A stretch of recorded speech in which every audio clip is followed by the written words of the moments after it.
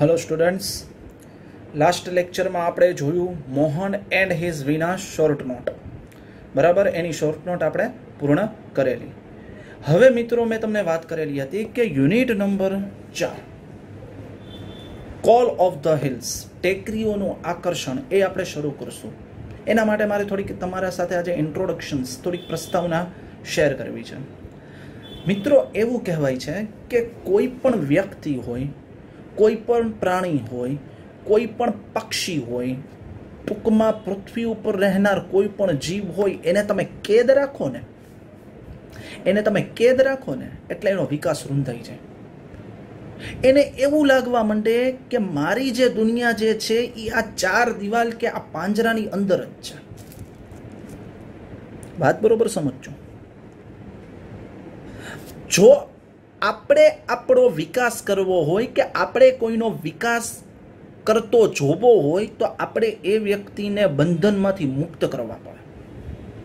કોઈને તમે જેલ જેવી જિંદગી આપણે જો કોઈને આપી દઈએ ને કોઈ પ્રાણીને આપી દે, કોઈ પક્ષીને આપી દે, ખુદ કોઈ વ્યક્તિને આપી દે, તો એ વ્યક્તિ અંદરથી એની આત્માથી એ મરી જાય. આ પેલો બોધપાઠ એ પાઠનો એ છે. કે કોઈએ પણ કોઈ વ્યક્તિએ પણ કોઈ અબોલ જીવ છે જે બોલી નથી શકતું.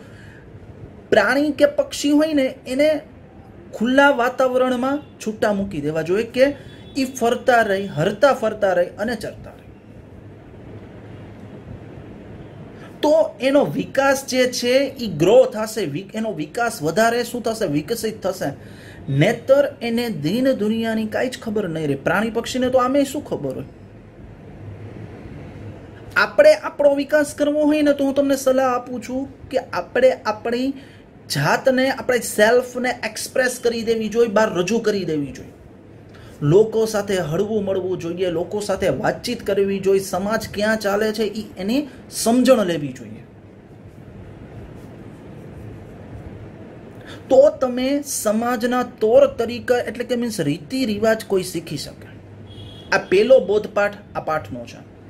કે કોઈ પ્રાણીને તમારે કેદમાં રાખી શકતા નથી. ભલે તમે એને સોનાનો નિવાલો, સોનાનો ટુકડો ખવડાવતા હોય. નિવાલો એટલે કે ટુકડો અમે નિવાલો શબ્દ ઉર્દુમાં લઈએ છીએ. એને લુકમો, ટુકડો ખવડાવતો હોય છતાં પણ એ વ્યક્તિને તમે બંધનમાં રાખો ને એટલે એ વ્યક્તિ હોય કે પછી પ્રાણી હોય કે પક્ષી હોય, અંદરથી પોતાનો જીવ રૂંધાવા માંડે. એને જીવન જીવવામાં કે તમારા અનાજમાં રસ શું થઈ જાય? તો કે ઉડી જાય. એ રસ તમારો એનો ઉડી જાય. આ પહેલો બોધપાઠ.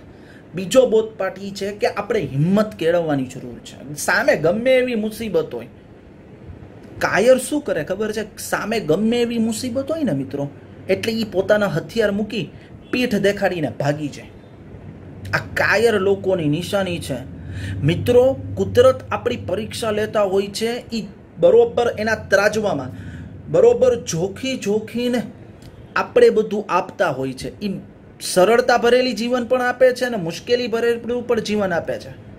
સરળતા ભરેલું જીવન તમે કેવી રીતે જીવી શકો અને મુશ્કેલીના સામનોમાં તમે કેવી રીતે એનો સામનો કરી શકો ને, એ કુદરત તમારી પરીક્ષા લેતું હોય છે. પણ આપણા ઘણા બધા લોકો, તમે પણ આવી જાઓ, હું પણ આવી જઈ છીએ ક્યારેક ક્યારેક, કે આપણે પરિસ્થિતિનો સામનો કરવાને બદલે આપણે એને અધવચ્ચે મૂકીને જતા રહીએ છીએ.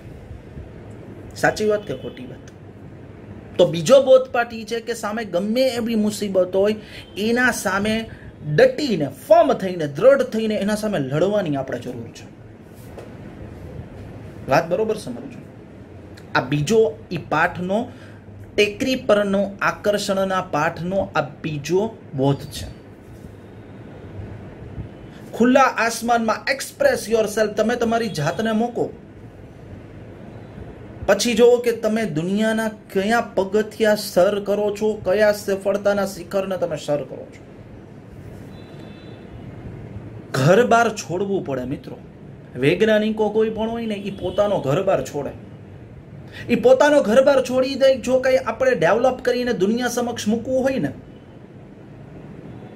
દુનિયા સમક્ષ, તો એને બધું છોડવું પડે.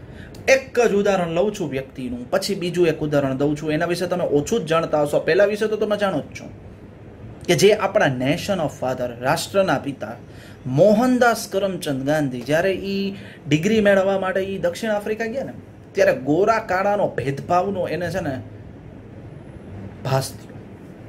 એને અનુભવ થયો, ભાસ નહીં અનુભવ થયો. ગાંધીજીનું વજન કેટલું હતું? ખબર જ કોઈને કોઈને નથી સાવ સિંગલ બોડી ટચલી જે આપણી આંગળી હોય ને એવું સિંગલ બોડીનું એનું શરીર હતું કે ચાયલા આવતા હોય તો માત્ર એના ઉપરનું કપડું દેખાય એ વ્યક્તિ ન દેખાય, હાડકા દેખાય એવા ગાંધીજી હતા. કે ગોરા કાળાની ભેદભાવની નીતિ એ સંપૂર્ણપણે એ નાશ કરી.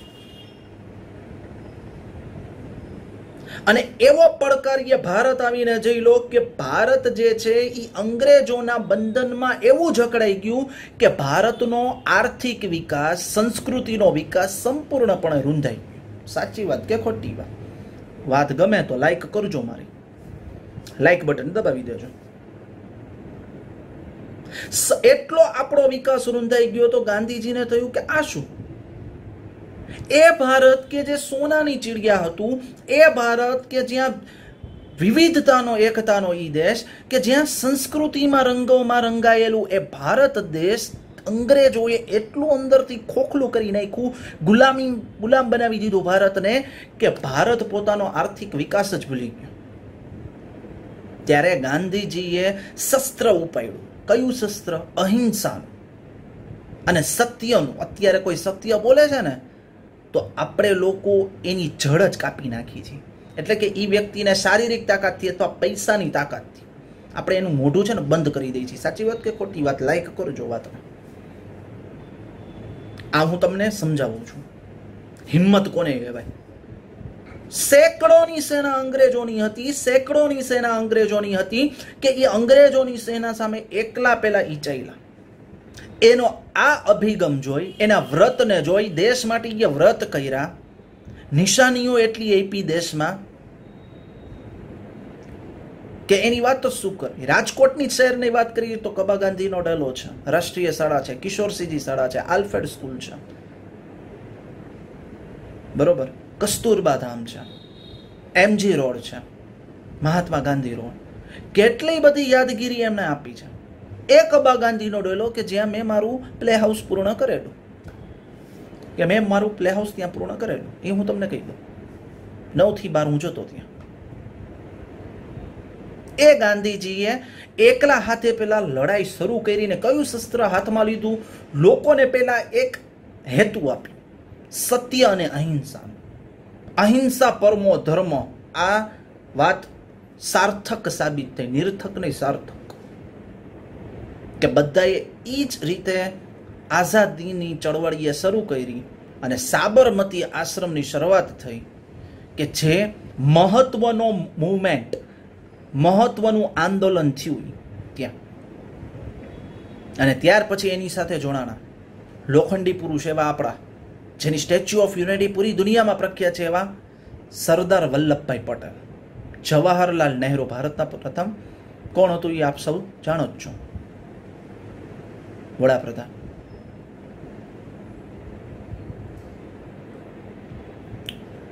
ઓગણીસો સુડતાલીસમાં આપણે જ્યારે આઝાદી મળી ગઈ ને, ત્યાર પછી આપણો દેશ સાવ ખોખલો થઈ ગયો. ગાંધીજીની તો હત્યા કરી દેવામાં આવી, ગોડસેના હાથથી.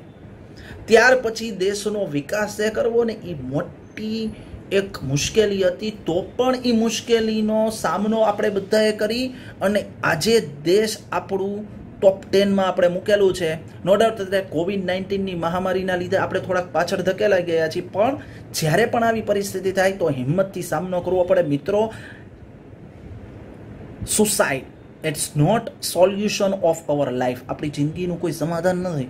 સુસાઇડ આપ આત્મહત્યા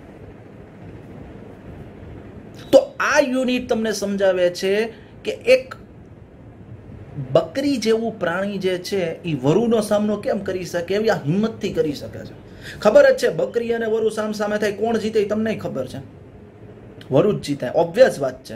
ખૂંખાર હોય એ અને આ તો એક નાજુક એક બકરી, ગોટ ચાંદની નામની, જે યુનિટમાં વાત છે. કે જેણે પોતાની હિંમતથી એ વરુને હંફાવી દીધું કે જેના એક જ એના તીક્ષ્ણ દાંતથી ગમે એનો એના શિકારનો એ શિકાર કરી નાખે, બરોબર? એની મિજબાની માણી નાખે, એને યહમ ફાવી દીધું. આપણે શું છે ને, વરુજ જીત કહેવાય ને, આનું શું આવે? ના, સમજદાર પૂર્વકથી આપણે જોઈએ ને તો જીત કોની થઈ કહેવાય? એ ગોટની થઈ કહેવાય. મિત્રો પ્રાણીઓમાં પણ ચતુરતા હોય જ છે. આ બોધપાઠ છે. Nelson Mandela. જેમ આપણા દેશના રાષ્ટ્રપિતા ગાંધીજી છે ને, એવી રીતે દક્ષિણ આફ્રિકાના રાષ્ટ્રપિતા. બ્રિટિશરોએ એવી એના ઉપર એના ઉપર ત્રાસ મૂક્યો મિત્રો નેલ્સન મંડેલા ઉપર. મેં તો વાંચ્યું છે એના વિશે. કે એને અઠ્યાવીસ વર્ષ દસ બાય દસ બાય દસની કોટરી, દસ બાય દસની કોટરીમાં એને રાખી દીધા હતા જેલમાં, અંધારી જેલમાં કે જ્યાં સૂર્યપ્રકાશ એનું આવે. દસ બાય દસ, હો. પૂછજો તમારા માતા પિતાને દસ બાય દસ શું? તમે એક લાઇક દબાવી દેજો આ બાબત ઉપર. વધુમાં વધુ આ વીડિયો શેર કરજો. હિંમત કોને કહેવાય? અને આઝાદી કોને કહેવાય? એ બ્રિટિશરોએ એના ઉપર એટલો ત્રાસ કર્યો કે અઠ્યાવીસ વર્ષ સુધી મિત્રો આપણે એક કલાક એક રૂમમાં બંધ રાખીને તો આપણે ગાંડા જેવા થઈ જાય. થઈ જાય કે ન થઈ જાય? એવી એક દસ બાય દસની અંધારી કોટડીમાં નેલ્સન મંડેલા રહ્યા. અને જ્યારે અઠ્યાવીસ વર્ષ પૂર્ણ થયા ને એને સજાને, એટલે એ રસ્તા ઉપરથી ચાલ્યા. જ્યારે તમે અંધારી કોટડીમાંથી બહાર આવો ને, હું તમને એમ કહું, રાત્રે આપણે આરામ કરવા માટે જાય લાઇટ બંધ કરી દે, સવારે લાઇટ અચાનક ચાલુ કરે ને, એટલે આપણા આંખ ખેંચાવા માટે એવી રીતે એ રસ્તા ઉપર ચાલે ત્યારે એની આંખ ખેંચાવા માંડી. અને ખબર હતી કે આ બહાર નીકળશે નેલ્સન મંડેલા. એટલે એની જ સરકાર રચાવાની છે અને એ જ આફ્રિકાના રાષ્ટ્રપિતા બનશે. ખબર હતી બધાને? ચૂંટણી આવી. એના પક્ષની રચના થઈ. જંગી બહુમતીથી એક અશ્વેત વ્યક્તિ જીત્યું. કે એ વખતે કે જ્યારે બ્રિટિશરોની જો હુકમી જતી, ત્રાસ જ હતો. વાત સમજજો, હિંમત કોને કહેવાય? આપણે આપણા દુશ્મનને પછાડવો હોય ને, આપણે આપણા દુશ્મનને. તો આપણે એ રીતથી આપણે મગજ હલાવવું પડે. આપણે હોય તો, હવે જો એનું હું બહાર નીકળીને જોઈ લઉં છું, ના એ કોઈ સોલ્યુશન નથી, ના. એ સોલ્યુશન નથી. પણ એ હિંમત શું રહી બરોબર થઈ ગયું. જીતી ગયા. પત્રકાર તો વાતનું વતેસર કરવામાં અમારા જેવા પત્રકાર, હું પણ એક પત્રકાર જ છું મીડિયા ઇન્ચાર્જ જ છું. બરોબર. એટલે કીધું કે હવે તમારા ઉપર આણે ત્રાસ કર્યો હતો તો તમે એનો બદલો કેવી રીતે લેશો? એ કાંઈ જવાબ ન આપ્યો. કાંઈ જવાબ જ ન આપ્યો કે હું તમને પછી આપીશ. મિત્રો નેલ્સન મંડેલા સામેથી એ લોકો પાસે ગયા, એ બ્રિટિશરો પાસે ગયા કે જેણે જે બ્રિટિશરોએ અઠ્યાવીસ વર્ષ એને કેદમાં રાખ્યા હતા, અંધારી કોટડી દસ બાય દસની રાખ્યા હતા, ત્યાં એને, એના પાસે ગયા અને એને કીધું કે મને આમાં બહુ નથી ખબર પડતી હોય એ કંઈ. દેશ કેમ ચલાવવો એ ખબર નથી પડતી. તમારે મારો સાથ આપવાનો છે. એ વ્યક્તિ કે નેલ્સન મંડેલા ઉપર એવડો ત્રાસ કર્યો કે જેને કોટડીમાં બંધ કરી દીધા હતા કે તમારે મારો સાથ આપવાનો છે, દેશ કેમ ચલાવવો? હાથ પકડીને એને એના મંત્રીમંડળમાં સ્થાન આપ્યું બ્રિટિશરને સલામી મારી જાય ને, કોઈ પણ. આને કહેવાય હિંમત, આને કહેવાય દુશ્મનીનો બદલો કેવી રીતે લીધો? એ સલામ માર્યું બ્રિટિશરે કે તમને સલામ છે હોય કે? હિંમત. બહાર નીકળો, તમે તમારી લાઈફને એકદમ સ્પ્રેડ કરો, જો લોકો સાથે તમારે તાલથી તાલ મેળવવો હોય તો. એ આ યુનિટમાં કોલ ઓફ ધ હેલ્સ દિવસે ને દિવસે એક બકરી હતી, એને આકર્ષણ થતું હતું. અબુ મિયા, ત્રણ પાત્ર છે આમાં. અબુ મિયા. એની બકરી ચાંદની અને એક ગોવિંદ, કે એનો પાડોશી અબુ મિયાનો. અબુ મિયા દરરોજ આ સફેદ દૂધ જેવી, બરફ જેવી, એકદમ સફેદ બકરીને સારામાં સારું અનાજ આપતા, રસથી ભરપૂર એને ઘાસ ખાવા આપતા તો પણ શું કરતા અબુ મિયા? એને કેદમાં રાખતા. જેલ જેવી કેદમાં રાખતા પ્રાણી છે, એને ફરવા દેવું પડે. એ હરતા જાય, ફરતા જાય. આપણે શીખવા જેવું છે પ્રાણી પાસેથી. આપણે કેવા આળસુ થઈ ગયા છે? પ્રાણીઓ કેવા એક્ટિવ હોય છે? ચુસ્ત. ફરતા જાય ફરતા જાય ફરતા જાય. ક્યારેય એને થાક નથી લાગતો. ફરતા જઈને ચરતા જાય, ફરતા જઈને ચરતા જાય. નવી નવું કાંક એને મળતું જાય. એવી રીતે આપણે કરવાની જરૂર છે. શીખવાની જરૂર છે આપણે. તો મિત્રો એ યુનિટ આપણે સમજવાનું છે. બે વાત કીધી, તમારા મગજમાં ઉતરી જશે, મારી આ વાતને મગજમાં રાખજો. મારી આ વાતને તમે બરોબર મગજમાં રાખજો. અધવચ્ચે કોઈ પણ પરિસ્થિતિનો સામનો કરીને આપણે મૂકી દઈને સામનો કર્યા વગર, તો આપણામાં કેવી રચના થઈ જાય ખબર? કાયરની આપણે ઓલું કહેવત છે ને અડગ મનના માનવીને હિમાલય પણ નડતો નથી ગમે એવો હિમાલય હોય ને પર્વત એ ચડી જાય જ્યારે મનમાં દ્રઢ વિશ્વાસ હોય ને અને હવે જે વ્યક્તિની હું વાત કરવા જાઉં છું તમારી સમક્ષ, દશરથ માજી. તમે આ નામ નહીં સાંભળ્યું હોય? દશરથ માજીની દશરથ માજી એક પર્વતોની ખીણમાં એ કામ કરતા હતા. એક વખત એની પત્ની એના માટે જમવાનું લઈને આવી હતી. હિંમત કોને કહેવાય તમે જોજો. કેવો દ્રઢ મનનો માનવી કે કેવડી મુસીબત હતી અને એ સામનો કર્યો કે એમની પત્ની એ પર્વત ચડતા ચડતા એક સ્ટેપ એનો એટલે કે એક પગલું એ ભૂલી ગઈ ને એની મોત થઈ કે એ પર્વત વચ્ચે આડો આવતો હતો અને હોસ્પિટલ એક શહેરમાં હતું. ત્યાં પહોંચી ન શકી કેના અભાવે? તો કે સમયસર એને પ્રાથમિક સારવાર ન મળી એટલે. દશરથ માજીએ તે જ દિવસે નક્કી કર્યું કે આજે મારી હાલત થઈ. આવતીકાલે બીજાની હાલત આવી થાય, તો હું આ પર્વતને વચ્ચેથી તોડીને એમાંથી રસ્તો બનાવીશ અને એ શહેર સાથે હું જોડી દઈશ કે જે શહેર અહીંથી દૂર છે અને લોકોને પ્રાથમિક સારવાર મળી રહે. દશરથ માજી દિવસ અને રાત લાગી ગયા. પહેલા વહેલા તો ગામડાના લોકોએ આને ગાંડો કીધો કે આ પત્નીના વિયોગમાં આ વ્યક્તિ ગાંડો થઈ ગયો છે. દશરથ માજી એના ઉપરનું પિક્ચર પણ બન્યું. ધ માઉન્ટેન મેન દશરથ માજી. નવાઝુલ સિદ્દીકી મેન લીડ રોલમાં એમાં હોય છે. કેતન દેસાઈ આ પિક્ચર બનાવી. કોઈ વ્યક્તિ ઉપર તમે પિક્ચર બનાવો ને તો કાંક શીખ મળે. આનામાંથી શું શીખવાનું છે ખબર હિંમત. એ દ્રઢ નિશ્ચય કર્યો કે હું આ પર્વત તોડી જ નાખીશ.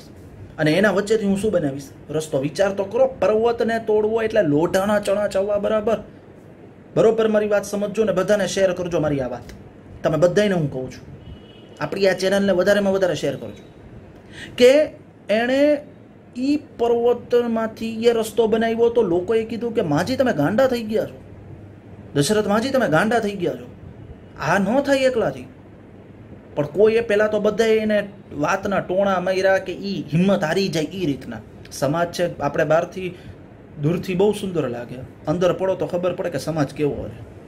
તો ગામડાના લોકોએ ગાંડા કીધા, એના ઉપર હૈસા એની મજાક ઉડાડતા. પણ આ બધા અડચણોને આપણે હોય તો કોઈ આપણા ઉપર મારે આ કામ નથી કરવું. બધા મારા ઉપર હસે છે, પણ શું થઈ ગયું? આવા લોકો તમારી હિંમતને શું કરી નાખે? ઓછી કરી નાખે. હિંમત કોને કહેવાય એ જુઓ. દ્રઢ નિશ્ચય કોને કહેવાય? એ એનું કામ ચાલુ રાખ્યું ને પછી બધાને એમ થયું કે આ માણસ આટલી દિવસ બપોર રાત મહેનત કરે છે આ. કાળી મજૂરી કરે છે, તો હાલો આપણે એને મદદ કરાવીએ. એવા ઓજારો લોકોએ એને ખરીદી આપ્યા. એને ખાવાનું પૂરું પાડવા માંડ્યા. ગામડાના લોકો, એ જ ગામડાના લોકો કે જે દશરથ માજીને ગાંડો કહેતા. એનું માઉન્ટેન મેન બિહાર સરકારે એને માઉન્ટેન મેન નામ આપ્યું હતું. એને એક પુરસ્કારથી સન્માનિત કર્યા હતા. અને એની અર્થાગ પ્રયત્નો બાદ, સખત પ્રયત્નો બાદ એવું કહેવાય છે ને, કે સખત પરિશ્રમનો કોઈ વિકલ્પ નથી. સિદ્ધિ તેને વડે કે જે પરસેવે નહાય પરસેવાની મહેનતથી પર્વતના વચ્ચેથી એ રસ્તો બે બાજુથી એ શું કરી નાખ્યો? બે પર્વતમાંથી વચ્ચેથી તોડી પર્વતને? અને પર્વતમાંથી એ રસ્તો બનાવ્યો. અને બિહાર સરકારે એમને દશરથ માજીને માઉન્ટેન મેનનું બિરુદ આપ્યું. પણ જ્યારે આ પુરસ્કાર લેવા માટે એને જ્યારે આમંત્રિત કરવામાં આવ્યા, તો એવું કહેવાય છે કે દશરથ માજી તેના જિંદગીના અંતિમ શ્વાસ ગણતા હતા. આને કહેવાય દ્રઢ નિશ્ચય. દ્રઢ હિંમત. કે જે આ ચોથા યુનિટમાં ચાંદનીમાં કે મારે એ વરુને હરાવવો જ છે. ભલે ને ખબર હતી. પણ દશરથ માજી તો શું વાત છે મિત્રો? વિચાર તો કરો તમે. તો મિત્રો, આપણે આ રીતનું વ્યક્તિત્વ આપણે ખીલવવું પડે, આપણે હિંમત રાખવી પડે. આપણે આપણી જાતને આઝાદ કરવી પડે તો આપણે એક પરફેક્ટ મેન બની શકીએ છીએ. નોલેજેબલ થવું પડે. એવું કહેવત છે money is the treasure which can be stolen કે પૈસો ખજાનો છે કે જે ચોરાઈ શકે છે. નોલેજ ઇઝ ઓલ્સો ટ્રેઝર જ્ઞાન પણ ખજાનો છે વિચ કાન્ટ બી સ્ટોલન કે જેને ચોરી શકાતો નથી. આપણું નોલેજ કોઈ ન ચોરી જાય. એ નોલેજ લેવા માટે આપણે હિંમત રાખવી પડે. આપણે બહાર આપણી જાતને રજૂ કરવી પડે. જો આપણે આપણો વિકાસ કરવો હોય ને, આપણું ડેવલપમેન્ટ આપણે આપણી જાતનું, આપણા વ્યક્તિત્વને બનાવવું હોય ને, તો આપણે ક્યાં નીકળવાનું? બહાર નીકળવાનું ને લોકો સાથે કોમ્યુનિકેટ વાતચીતનું આદાન પ્રદાન કરવાનું. લોકો શું કરે છે, એના વિચાર કેવા છે? સામેવાળી વ્યક્તિને ઓળખવી હોય તો તમારે પ્રેક્ટિકલી વ્યવહારિકતા આપણે કેળવવી પડે. તો આપણે યુનિટ સમજશું? બહુ સરસ. પ્રસ્તાવને તમને બહુ સરસ સમજાણી અને મારી આ વાતને વધારેમાં વધારે તમારા મિત્રોમાં, તમારા સગા સંબંધીઓમાં શેર કરજો, કે જેથી તમને ગમે. અને તમારું નોલેજ વધે. તમે જાણતા હતા દશરથ માજી વિશે? નેલ્સન મંડેલા વિશે? અગાઉ મેં વાત કરેલી હશે, પણ દશરથ માજી વિશે તો મેં કીધું કે પર્વતમાંથી તમારે પૂછવું હોય તો પૂછજો. કે માઉન્ટેન મેન કોણ? કોઈને નહીં ખબર હોય મિત્રો. કે એ પર્વતમાંથી શું બનાવ્યો? રસ્તો. શું કામ? કે એની પત્નીની મોતી પર્વતથી થઈ હતી. તો લોકો અને એની પત્નીની મોત બીજી કારણ કારણસર કે એને સમયસર પ્રાથમિક સારવાર મળી નહીં આ પર્વત વચ્ચે હતો એટલે. એટલે એ પર્વતોને વચ્ચેથી શું કરી નાખ્યો? તોડી નાખ્યો ને રસ્તો બનાવ્યો, એ ધ માઉન્ટેન મેન દશરથમાંજી તો હવે પછીના લેક્ચરમાં આપણે શરૂ કરશું unit number four, call of the hills. અને મિત્રો, આપણા સેમેસ્ટર વનમાં બરોબર પાંચ પાઠ છે, આ ચોથો પાઠ અને પાંચમો પાઠ આપણે પછી પૂર્ણ કરીએ. એની શોર્ટ નોટ ને બધું વ્યવસ્થિત રીતે સમજી લઈને આપણે કોમ્પ્રેહેન્શન શીખવાનું છે, પેરેગ્રાફમાંથી પ્રશ્નો જવાબ, જે હું તમને બોર્ડ વર્ક દ્વારા સમજાવીશ. બરોબર છે મિત્રો? તો હંમેશા બોધપાઠ શું લેવાનું? આપણે આપણી જાતને ડેવલપ કરવી હોય તો બહાર નીકળવાનું, આપણી આઝાદીમાં લેવાનું અને ખુલ્લા મનથી વાતચીત કરવાની, અંદર કોઈ વાતચીત રાખવાની નહીં અને બીજું હિંમત કેળવવાની. શું કેળવવાની? હિંમત કેળવવાની કે જેથી ગમે એવી પરિસ્થિતિ આવે, એ પરિસ્થિતિનો સામનો આપણે હિંમતપૂર્વક કરી શકીએ. હાર જીત કોઈ સવાલ નથી. તમે હારશો ત્યારે કે તમે એમાંથી કંઈક શીખશો? બરાબર? હારથી આપણે શીખવાનું હોય. નિષ્ફળતા એ સફળતાની ચાવી છે. યાદ રાખજો. અને અહીં આ પહેલો પ્રસ્તાવના હું તમને પૂર્ણ કરું છું. આ વાર્તા સહિત. હવે પછી હું તમને જેમ સમજાવું છું, જે ત્રણ યુનિટ મેં બહુ સરસ રીતે મેં તમને સમજાવ્યા છે, તમે સમજેલા પણ છો. આઈ થિંક પચાસથી સિત્તેર ટકા તો તમે સમજેલા જ છો. એ મને ખાતરી છે. બરાબર? તો આપણે ભણશું અને વધારે વાતચીત આગળ કરશું. સો મિત્રો have a good day and have a next time